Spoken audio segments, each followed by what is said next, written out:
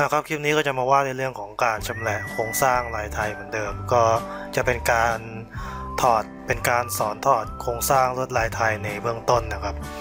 ก็อันนี้เป็นลวดลายของวัดเชียงหวายที่ผมยกตัวอย่างอันนี้ก็เป็นลายที่ 2 แล้วกัน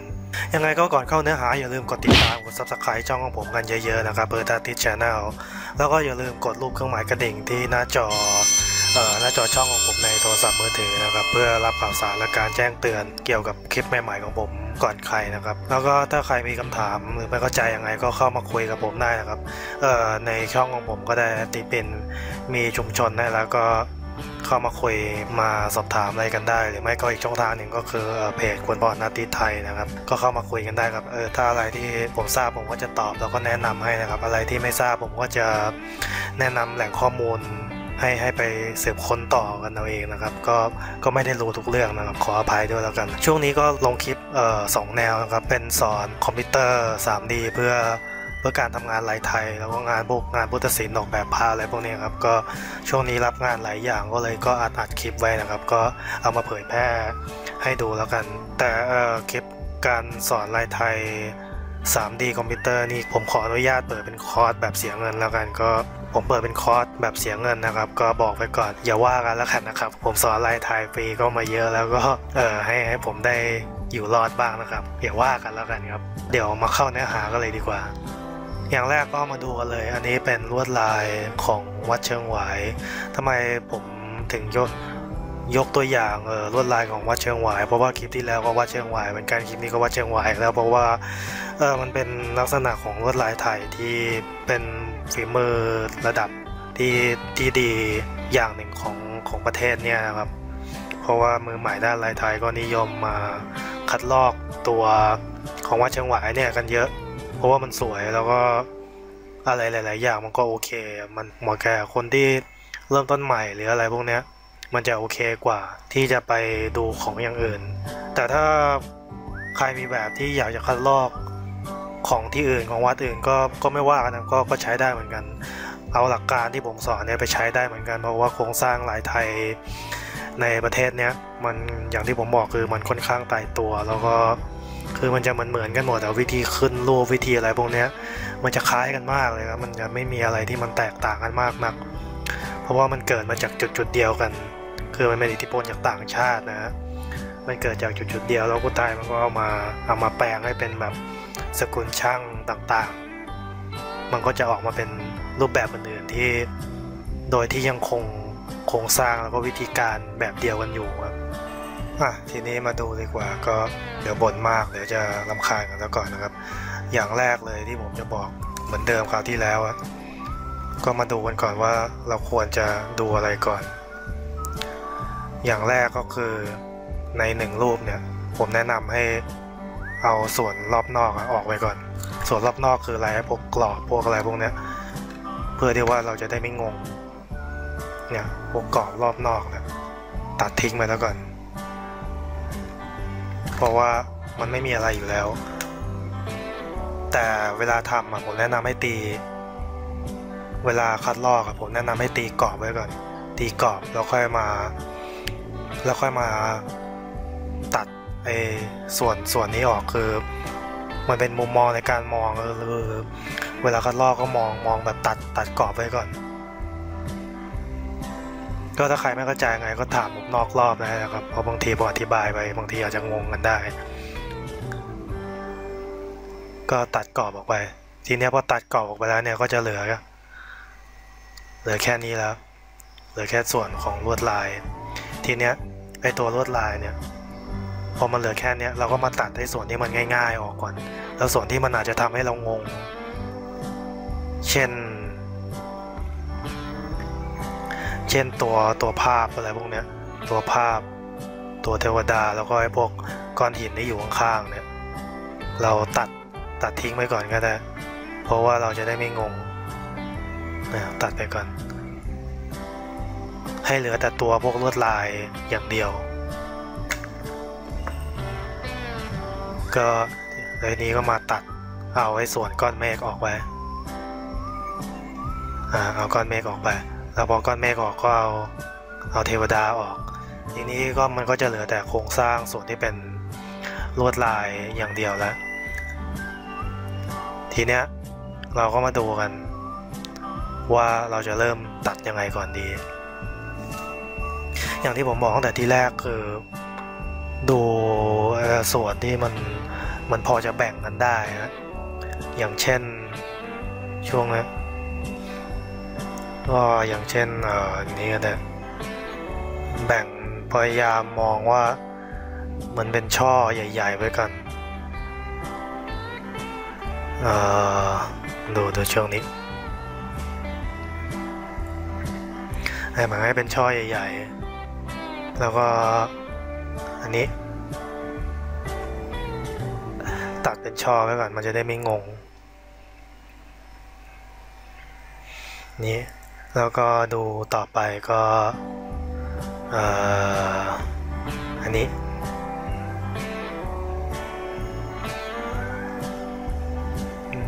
แล้วก็ช่วงนี้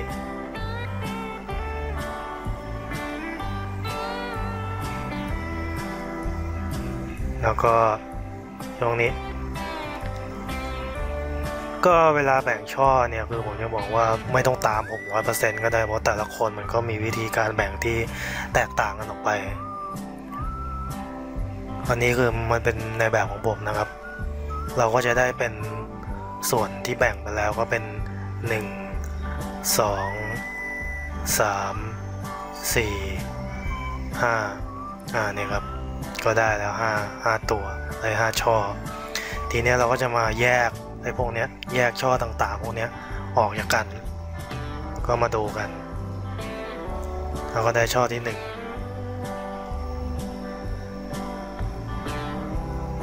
ก็แยกมาเป็นช่อที่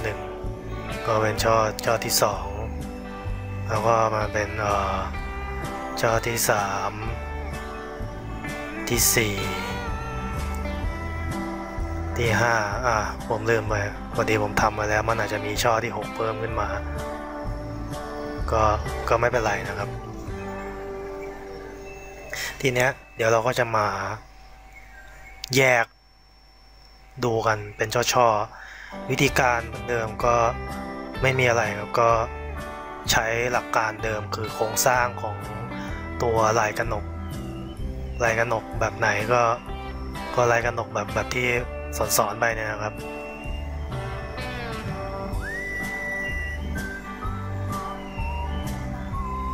ใครที่ยังไม่ดูลายกระหนก วิธีการเขียนก็ไปไปไล่ดูเองนะครับคือผมจะไม่ย้อนแล้ว เพราะคลิปการสอนปลูกลายสอนแกะลวดลายไทยเนี่ยมันจะเป็นอีกสเต็ปหนึ่งแล้วของลายไทยที่เออค่อนข้างที่จะยากพอสมควรก็ผมสอนไม่หมดแล้วแหละก็ไปไล่ดูกันเอาเอง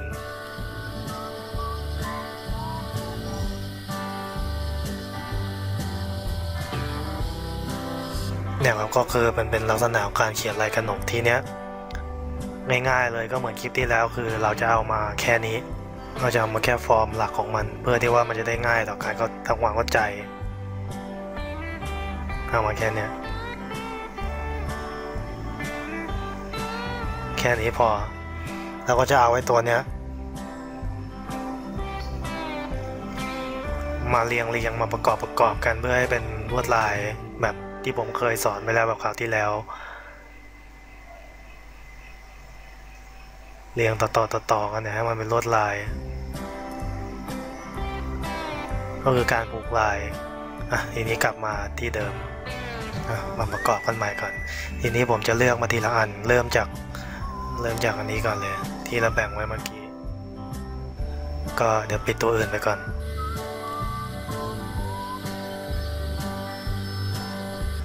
ให้เหลือตัวเดียว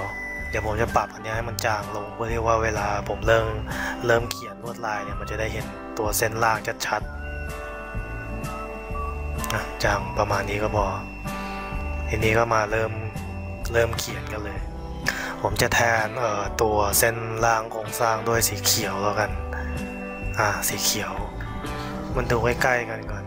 เราต้องมาไล่ส่วนที่เป็นพวกเส้นพวกเนี้ย เส้นเถาเนี่ย ซะก่อน จับทางเถามันให้ได้ โดยที่ยังไม่ต้องไปสนใจไอ้พวกลวดลายปีกย่อยที่มันโผล่ออกมา ดูว่าอะไรมันไข่กับอะไรอยู่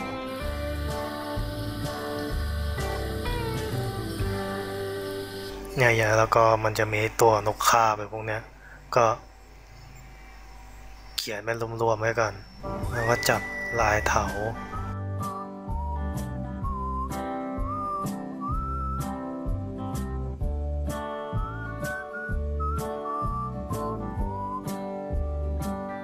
แล้วก็ไอ้พวกนี้ก็ขึ้นเป็นเถาไว้กัน แล้วก็ดูพวกเส้นเส้นเถาที่มันไขว้กันอยู่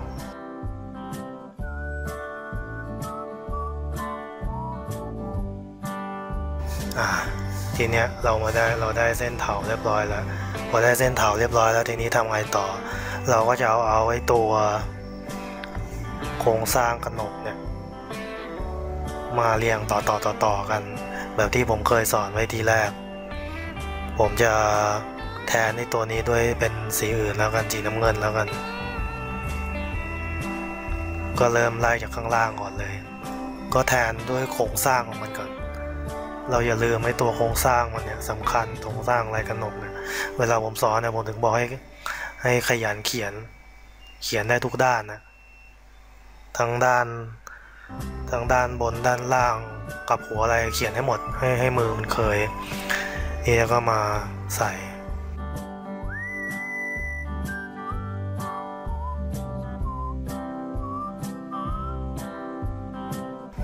ไอตัวนกคาพวกนี้ก็ทำให้มันดู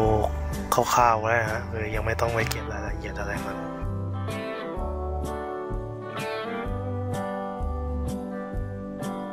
อย่างสังเกตดูดีมันคือการ เอาตัวกระหนกพวกนี้มาเรียงต่อๆๆกัน ให้มันเกิดลวดลายขึ้นมา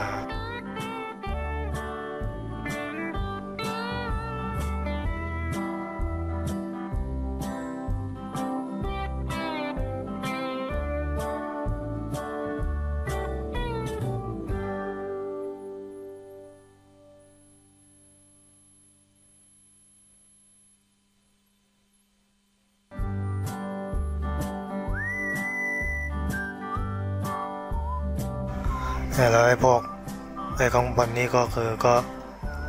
คำใส่ฟองคร่าวๆไว้ ยังไม่ต้องไปดูรายละเอียดมัน อ่าทีนี้ก็เราก็ได้แล้ว ในส่วนของการใส่โครงสร้างลายกระหนกเนี่ยครับเนี่ยเดี๋ยวเราจะเดี๋ยวผมจะลองตัดในส่วนพวกนี้ออกถ้าตัดเส้นสีน้ำเงินออกก็จะเหลือเส้นสีเขียว นี่ครับเส้นสีเขียว แล้วก็ใส่เส้นสีน้ำเงินเส้นสีน้ำเงินก็คือเอ่อลักษณะของเอ่ยตัว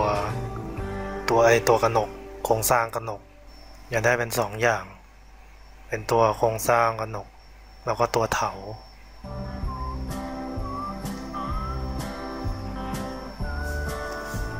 ทีนี้เดี๋ยวเราก็จะมาใส่ในส่วนของเป็นการซอยลวดลาย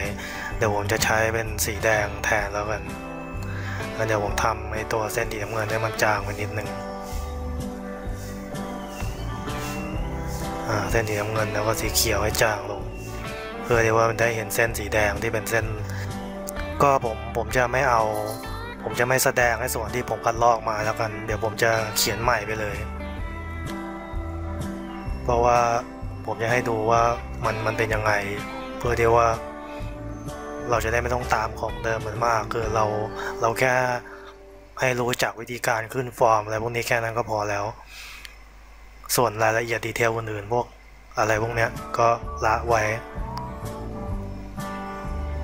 เริ่มกันเลย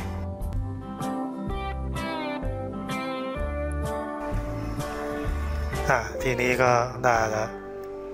ในส่วนของช่อหนึ่ง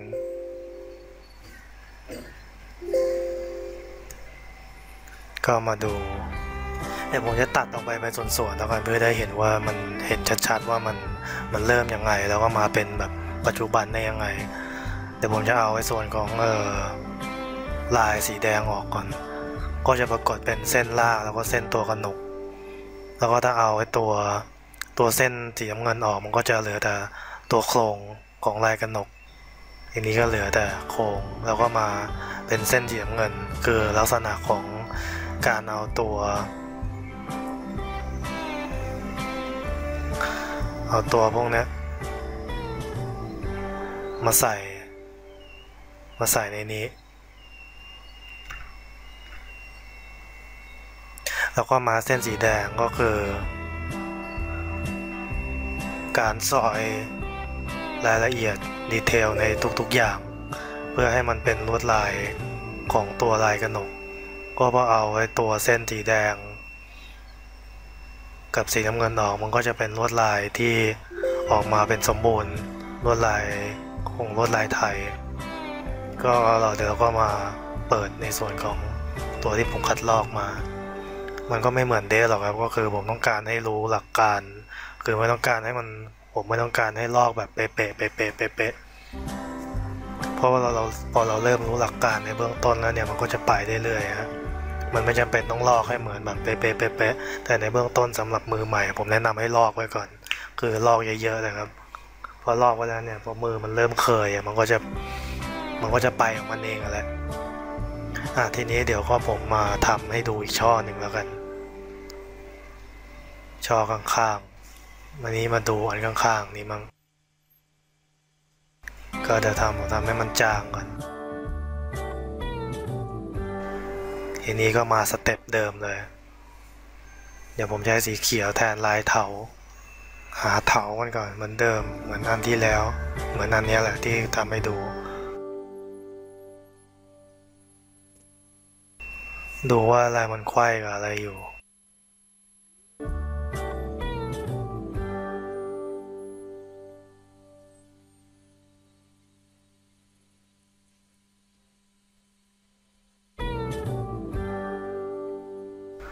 เนี่ยเนี่ยจะเห็นชัดว่าเกี่ยวกับไอ้พวกลายเถาเนี่ยเนี่ยจะเห็นชัด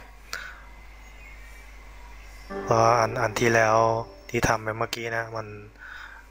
มันมันยังไม่เห็นเท่าไหร่ไอ้พวกการทับซ้อนของตัวลายเถาอ่าทีนี้มาดูตรงเนี้ยช่วงเนี้ยมันจะขาดไปเนี่ยมันจะขาดมันมันไม่มีตัวต่ออยู่ดีมันก็ออกมา แล้วทำยังไงก็ไม่ยากก็เติมมาเติมให้มันต่อกับตัวนี้ไปซะ บางทีเราก็ต้องใช้จินตนาการร่วมด้วยฮะมันไม่จำเป็นว่ามันจะต้องเป๊ะๆเป๊ะตลอด ต่อไปง่ายทีเดียว อ่าแล้วก็จะมาอีกอันหนึ่งตรงที่อาจจะงง คือช่วงเนี้ยมันจะแยกออกเป็นเป็นเป็นสามสามก้านหนึ่งก้านสองก้านสามก้าน คือเราต้องมองลายให้ออกนะ ก็แยกก็แยกไปตามลายอะแยกไปหนึ่งก้านสองก้าน แล้วก็สามสามก้าน แล้วมันก็จะมีนกอยู่ตัวหนึ่ง ก็จับเส้นคร่าวๆไว้สองอ่าวสองตัว แล้วก็มาดูจุดนี้อีกจุดหนึ่งที่ถ้าเกิดว่าเจอแบบนี้มันอาจจะงง ดูดีๆ ตัวนกอะนกเนี่ยมันจะมันจะซ้อนอยู่หลังลาย ต้องดูดีๆนั่นเนี่ยห่างนกแล้วเนี่ยคือลาย แล้วมันก็จะมีก้านแยกออกไปอีก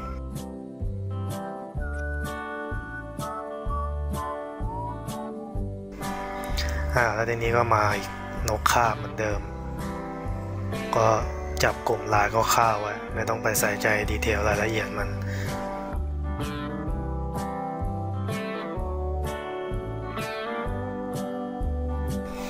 อ่าทีนี้ก็ได้แล้วลายเถา เดี๋ยวลองปิดไอตัวคัดลองหลังออกดู ก็จะได้เป็นเถา เถาเส้นสีเขียว ทีนี้เดี๋ยวเราก็มาใส่ตัวฟอร์มกระหนกต่อ เป็นเส้นสีน้ำเงิน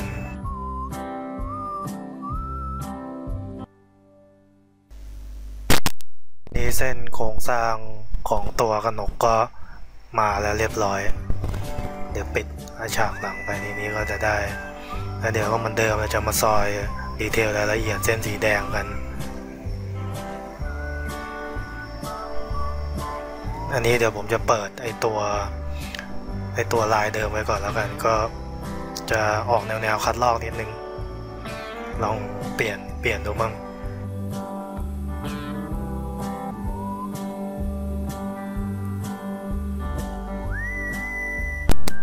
เอาครับทีนี้ก็เรียบร้อยแล้ว อีกช่อหนึ่ง ส่วนหนึ่งก็ เดี๋ยวก็ปิดเดี๋ยวไล่มาให้ดูไล่ให้ดูกัน เดี๋ยวผมปิดด้านหลังไว้ก่อน ก็จะประกอบด้วยเส้นล่างของตัวตัวเถาแล้วก็เส้นล่างของตัวตัวลายกระหนก แล้วก็ดีเทลลายกระหนกเดี๋ยวปิดไปทีละส่วนปิดไปทีละส่วนกันอ่าเนี่ยครับก็จะเห็นว่ามันมีของส่วนเป็นเส้นเถาที่ล่างเพื่อจะให้ดูรู้การทับซ้อน